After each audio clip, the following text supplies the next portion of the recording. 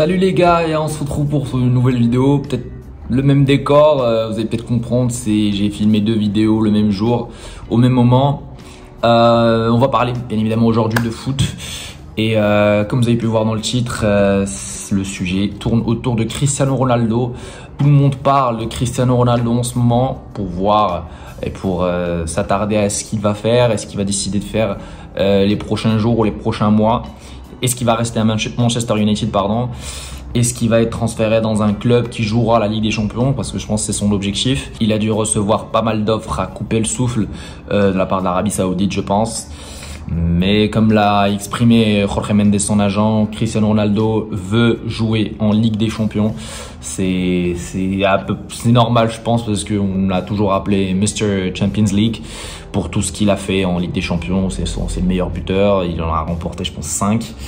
Et euh, il a tellement donné euh, dans cette compétition, il a tellement de cette compétitivité. Ils ont besoin d'être compétitifs euh, pour être en forme et pour se sentir bien. Et je pense que c'est le cas pour Cristiano Ronaldo qui n'a pas envie de jouer la, Ligue Europa. une compétition que jouera effectivement Manchester United la saison prochaine. Alors les clubs avec qui peut-être Ronaldo a été en contact, où il y a eu des rumeurs, on a eu la rumeur Bayern, puisque le Bayern, euh, et je pense qu'ils doivent commencer maintenant à chercher un remplaçant de Robert Lewandowski parce qu'ils ont enfin trouvé un accord avec le FC Barcelone et je pense qu'un accord de principe a été signé à l'heure où je regarde, à l'heure où je tourne cette vidéo, pardon. Et Lewandowski va être certainement présenté au Camp Nou euh, lundi, je pense. Euh, et il va peut-être signer demain au FC Barcelone. Et donc, je pense que le Bayern, ils doivent commencer à chercher un remplaçant efficace pour Robert Lewandowski parce que trouver un attaquant qui te claque 50 buts par saison, il n'y en a pas beaucoup.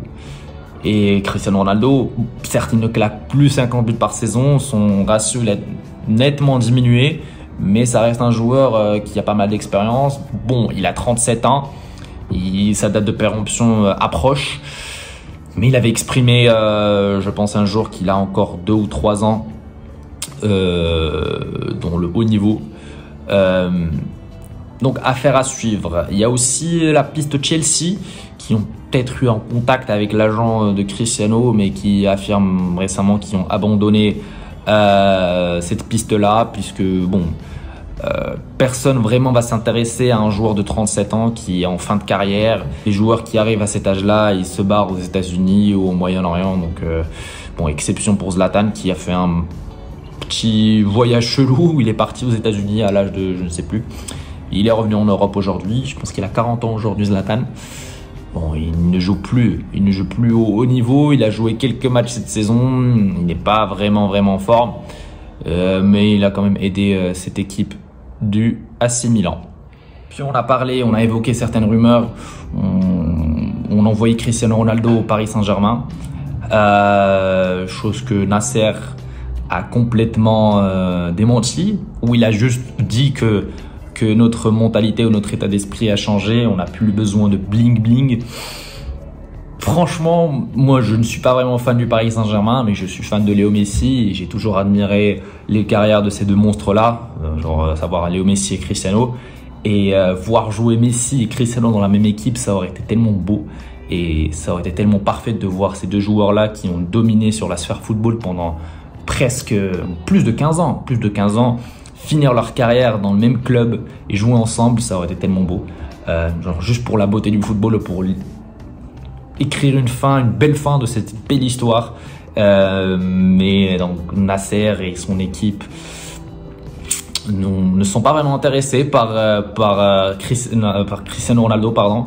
Pareil pour le Barça qui, je pense, avait euh, vraiment pour objectif de ramener Lewandowski, ce qui est chose faite maintenant.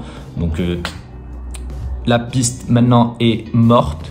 Donc, je pense aujourd'hui, les, clubs qui sont peut-être vraiment intéressés à, discuter avec Cristiano restent vraiment Chelsea, Paris, peut-être même pas Paris, mais il reste Chelsea et le Bayern qui en ont vraiment besoin parce que c'est des, des, deux clubs qui ont besoin de ramener un vrai attaquant, un pur neuf Cristiano Ronaldo, c'est pas un pur neuf, mais il s'est, reconverti en neuf.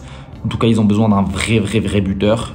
Paris, ils ont pas mal de stars. Ils ont Neymar, ils ont Mbappé, ils ont Messi. Euh, Icardi, il est plus bon parce que c'est le seul neuf qu'ils avaient.